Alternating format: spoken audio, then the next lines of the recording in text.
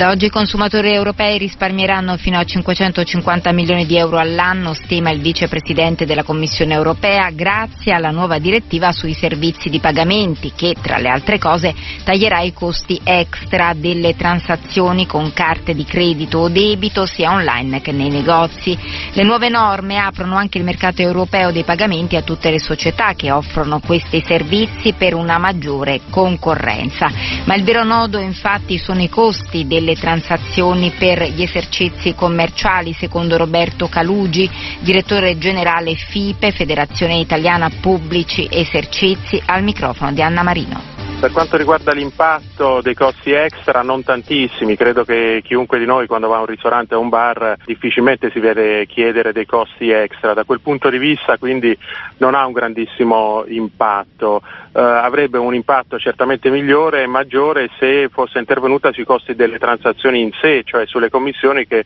purtroppo vengono ancora applicate sulle, sulle transazioni economiche elettroniche e questo certamente favorirebbe un maggior uso anche per importi un po' più bassi. È un problema se gli importi bassi vengono pagati con le carte di credito? Se lei paga un caffè un euro e a quello ci devo applicare anche il costo della transazione, ma il vero problema non è tanto il costo in sé, quanto il tempo, una fila di 4-5 clienti, tutti vogliono pagare con la carta elettronica, se per ogni transazione ci mettiamo 2-3 minuti facciamo eh, prima ad offrirle il caffè